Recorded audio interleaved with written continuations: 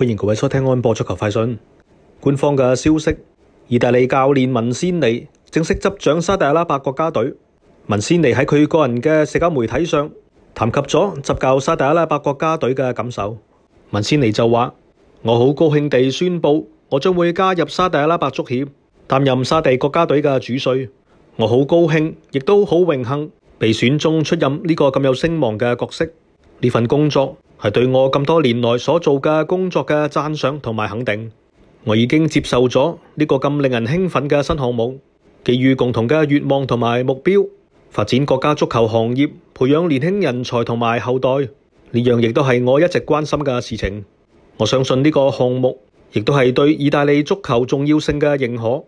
我将会自豪地继续将我哋意大利文化带俾全世界。我系阿斌，多谢各位收听。好波唔等人，即刻下载 M 直播，收睇精彩足球、篮球嘅赛事。